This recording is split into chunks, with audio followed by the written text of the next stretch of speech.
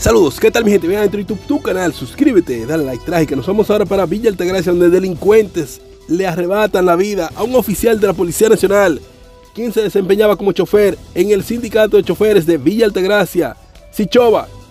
Este lamentable hecho sucedió en calles del barrio La Batata del kilómetro 40 de la autopista Duarte, Santo Domingo, alrededor de las 9 de la noche. El oficial fue identificado como José Enrique Peralta Noesi, quien era primer teniente de la Policía Nacional. Por el momento se presume que el incidente sucedió durante un asalto para quitarle su arma de reglamento. Hasta el momento no tenemos más detalles sobre lo sucedido. Así que ya usted sabe que su pana bien adentro está pendiente aquí de todo lo que pasa en el territorio nacional dominicano y más allá lo mantendremos informado cuando lleguen más detalles sobre este lamentable incidente.